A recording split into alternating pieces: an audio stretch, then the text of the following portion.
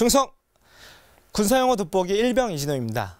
제가 있는 부대에는 육해공군 장병이 함께 근무하고 있습니다. 그런데 한 간부의 근무모를 보고 특이해서 자세히 여쭤봤더니 게리슨모라고 하더라고요. 이름도 특이하죠? 게리슨모란 무엇인지 군사용어 돋보기에서 자세히 살펴보도록 하겠습니다. 게리슨모를 사전에서 찾아봤는데요. 군대에서 사용하는 모자의 일종으로 챙이 없고 테두리를 크게 접어서 쓰는 머리에 꼭 맞는 모자라고 합니다. 이게 바로 garrison모인데요. 예, 수비대 주둔군이라는 뜻의 garrison을 써서 garrison cap이라고도 하고요. 평평하다고 해서 flat hat이라고도 합니다. 또 해군들이 쓴다고 해서 boat cap이라고도 하고요. 우리나라 해군의 근무모 역시 garrison모입니다.